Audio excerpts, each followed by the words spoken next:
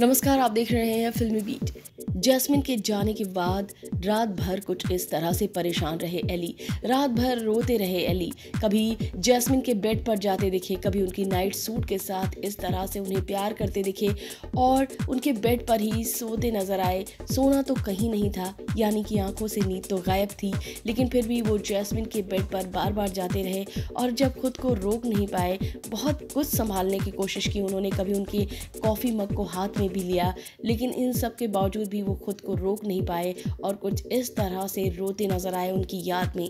जी हाँ जैसमिन भसीन के इवेक्शन ने किस कदर एली को तोड़ा है, इसका अंदाज़ा आप लगा सकते हैं। जब एली घर से बाहर गए थे, तब जैस्मिन की भी कुछ ऐसी ही हालत थी। वो बीमार पड़ गई थी और अब ऐसा लगता है कि जैसे एली की भी कुछ ऐसी ही हालत होने वाली है। वो लगातार जैस्मिन को मिस कर रहे हैं। वो लगातार उन्हें याद कर रहे हैं और जैस्मिन के विक्षण के बाद तो आप देख सकते हैं एली की क्या हालत है।